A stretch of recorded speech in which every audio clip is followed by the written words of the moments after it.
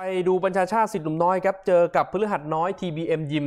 น้อยกับน้อยเจอกันครับ อะไปดูเลยครับ มุมแดงนี่น้อยอยู่หลังนะครับ ชื่อหนุ่มหนุ่มน้อยครับ ชื่อค่าย ส่วนน้ำเงินนี่น้อยอยู่หลังชื่อครับ ต่อย 128.5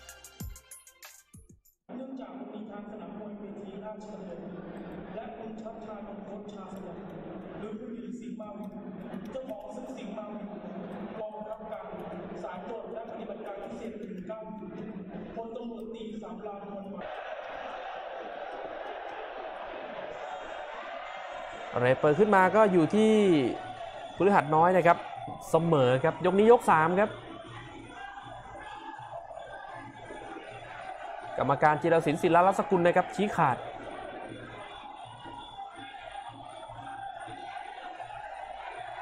คู่นี้นี่เจอกันมาในผลงานล่าสุดนะครับ แฟนมวยน่าจำกันได้ครับ ทางด้านพฤหัสน้อยนี่ชนะไว้นะครับ 14 พฤศจิกายนที่ราชดำเนินครับ บัญชาชาติวันนั้นมาแทนนะครับ การเตรียมตัวก็เป็นรอง ยกนี้ยก 3 ครับ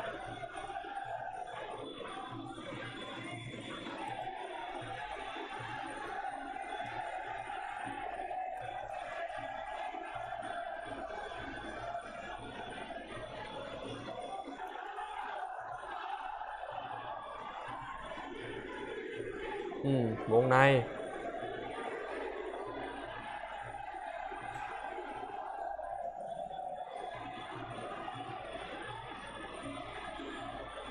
นอกกับในครับพฤหัสน้อยนี่เป็นมวยที่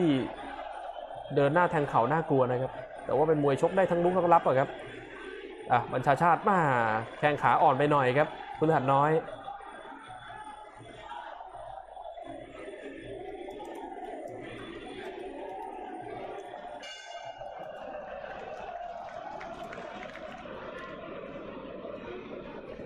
มด3ยกครับรูปเกมยังสูสีนะครับพฤหัสน้อยได้เปรียบในราคา 5 ต่อ 4 ครับ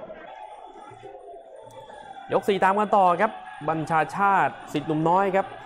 ลูกศิษย์พี่หนุ่มน้อยอีกคนหนึ่ง เจอพฤหัสน้อย TBM ยิมครับ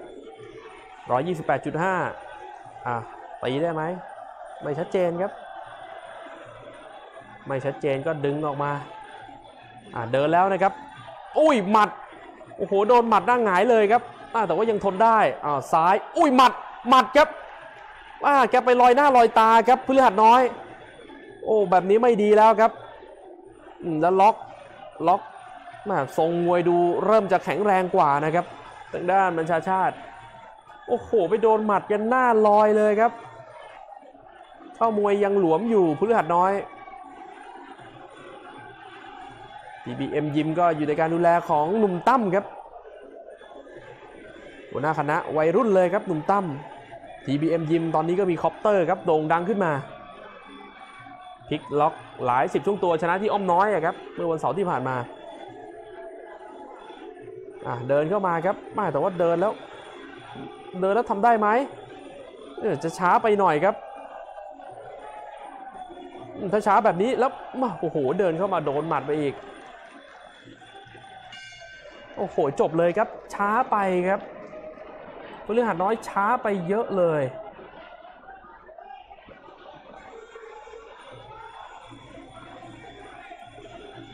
อ่ายกสุดท้ายครับ บัญชาชาติสิทธิ์หนุ่มน้อยกับพฤหัสน้อย TBM ยิมครับ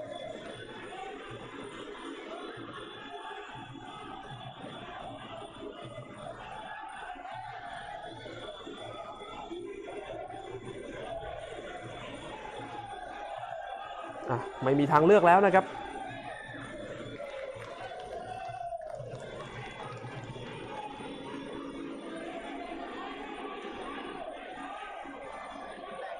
อ้าวมีแผลแตกด้วยครับอ่าไปโดนศอกตอนไหนครับเนี่ย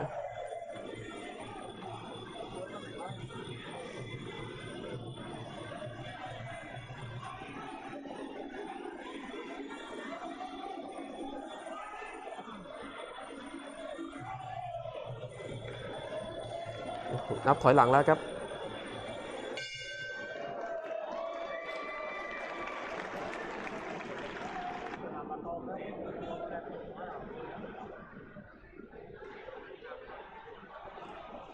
อะสุดท้ายครับ